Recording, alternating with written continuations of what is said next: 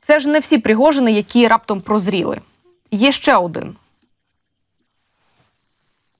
В целом, картина там, куда идет все. Это, это самая большая трагедия. Они все между это собой очень обсираются. заявления противоречивые, некоординированные. Да, да, Э, да. э, Идет Смотри, между они- собой они- они- борьба слушай, за власть, которая... Слушай, они, они объединились, Игорь Иванович, Сергей Викторович и э, Золотов. Они меня обвиняют во всем Шойгу, называют его долбоеб за глаза, естественно. И у них задача его снести. Но Ну и что? сейчас они это не делают. Накопительный момент. Да, ну потому что на кого-то надо списать. Слушай, Чемизов играет блядь, ему похуй. Он отвечает за ВПК, он они самые охуенные люди. Мое мнение простое. Они ведут себя как короли, как боги, блядь. Вот что я тебе скажу. Ничего хорошего о них я сказать не могу. Они подонки. Но у них коллективная вина. У них, они же все наверху, каждый из них отвечает за свой сектор. Все Сто сектора. Да. Якщо ви не розумієте, що це, звідки і хто цей Пригожин номер 2 то я вам нагадаю, що це Іосиф Пригожин, а той, який чоловік е, співачки Валерії, і той, відповідно, який є продюсером. От е, справа в тому, що до мережі потрапила ця. Цей запис та телефонної розмови, і відповідно на ній, е, нібито м, Іосиф Пригожин, нібито кажу, е, спілкується з екс-сенатором е, і мільярдером Ферхадом Ахмедовим. От ну і обговорюють вони, як ви розумієте, російське керівництво війною. Кажуть, що дуже сильно вони возмущені тим, що програли кварталу 95. Якось забулися вони трошки про момент, що президент України Володимир Зеленський є президентом України.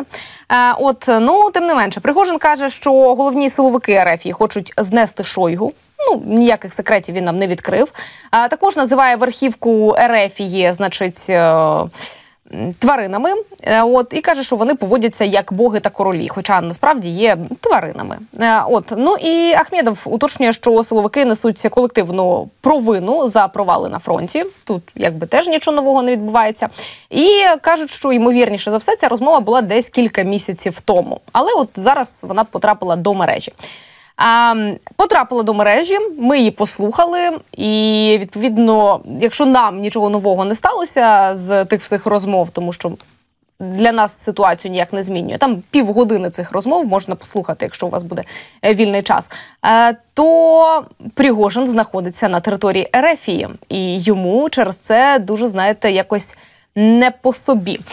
Тож незабаром після виходу ось е, цього відео або ж аудіо розмов е, Пригожин е, не знайшов нічого краще, як записати вибачення або ж зізнання, або ж знаєте, улюблена фраза «Це все не я. Це все кажуть штучний інтелект спародіював його голос, тому що він до того не має жодного відношення, як виявилось.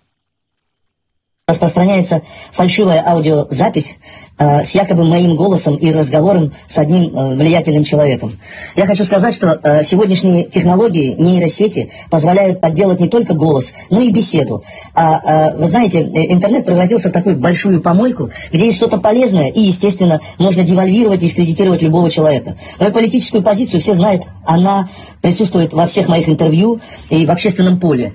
Но вы знаете, когда я послушал аудиозапись, я сам чуть ли не поверил в то, что это я. А, Я хочу сказать, что, наверное, ни у кого нет сомнений, как блестяще умеют, например, сегодня пранкеры э, э, подделывать э, голоса лидеров и общаться напрямую с другими лидерами, соответственно, как бы потом делая это достоянием общественности, понимая их мысли, мнения и разное прочее. Конечно же, этот факт носит неприятный характер, что мой голос гуляет по интернету. Хочу сказать, что этот голос точно не имеет ко мне никакого отношения. Это фейк. Моя гражданская позиция, политическая позиция всем известна. Ну, от десь так, розумієте, я сам чуть би не повірив, що це я. Ну, чуть би не повірив, звісно, але таке, щось, певно, в них одна хвороба на двох разом з Путіним. Постійно щось в горлі застряє, і тому дуже важко говорити періодично.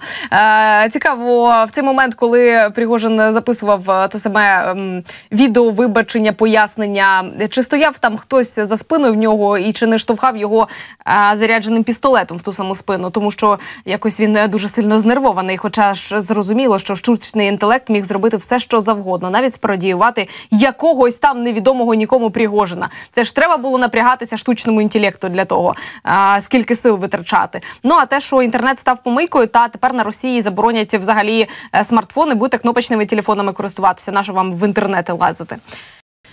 Привіт тобі, величний народи, величної країни. Мене звати Катерина Соляр. Я ведуча 24 каналу, і я тут для того, щоб запросити вас куди? Правильно, на мій телеграм-канал. Бо там ми робимо що?